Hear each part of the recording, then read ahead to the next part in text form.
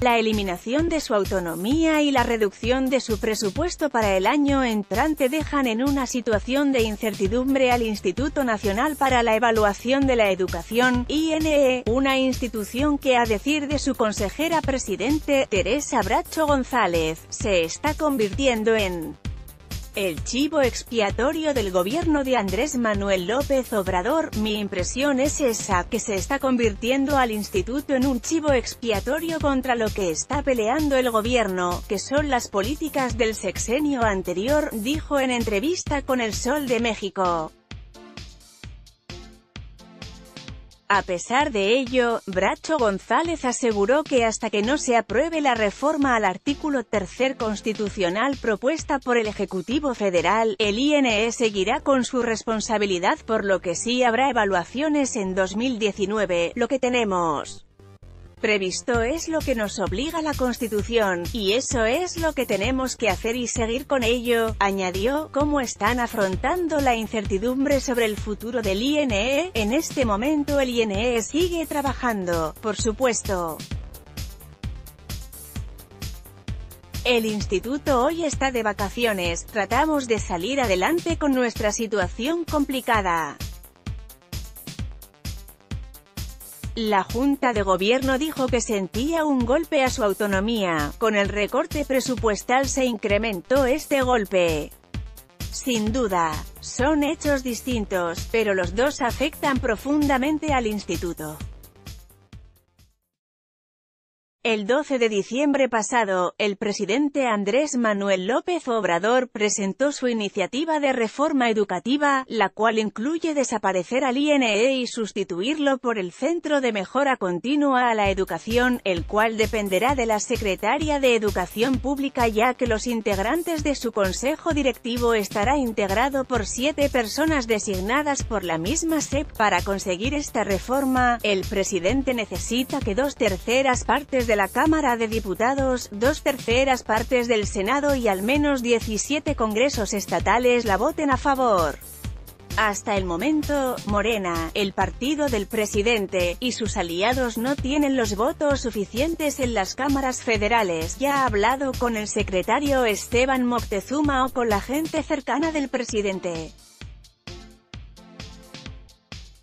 Nosotros hemos hablado con el secretario Esteban Moctezuma y con distintos legisladores, todas las bancadas del legislativo, tanto en diputados como en senadores, con excepción de Morena, que es con quien no.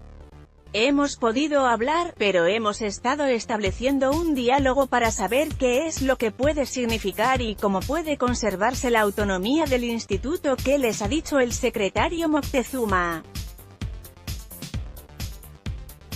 El secretario Moctezuma no tiene injerencia en el presupuesto, ese es un tema de la Cámara de Diputados por ley. En relación con la reforma, seguir adelante, seguir trabajando por conservar la autonomía, a quien han buscado en específico de Morena y qué les ha dicho. No hemos podido concretar ningún acuerdo con los legisladores de Morena, ya tienen claro cuál será su programa de trabajo para 2019. En 2019 tendremos que analizar cómo poder trabajar con el recorte tan fuerte que se dio desde el punto de vista presupuestal, y continuar trabajando en conseguir consensos por la importancia de la autonomía del instituto a nivel nacional, el recorte cómo afecta la aplicación de las evaluaciones.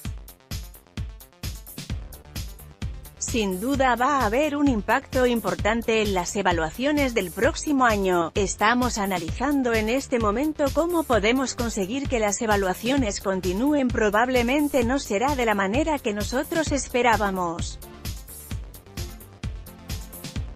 Espero que se puedan realizar, y que no se comprometan los levantamientos que tenemos previstos nacionales como internacionales.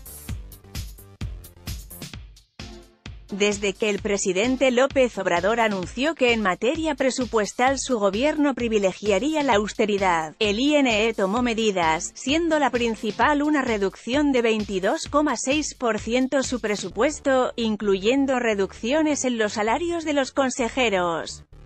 Esto ni fue suficiente para la Cámara de Diputados. Punto. Para el ejercicio fiscal 2018 el INE tiene un presupuesto de 1.227 millones, pero para el año entrante la Cámara Baja le aprobó 697 millones, es decir, un recorte de 43%, eso sin contar el efecto inflacionario, la reducción que pone en riesgo el cumplimiento de su mandato constitucional, en particular la realización de las evaluaciones de las políticas educativas federales y estatales planeadas para el año entrante, así como los estudios que este instituto ha venido realizando desde hace 15 años, se pronunció el instituto tras conocer lo aprobado por los diputados.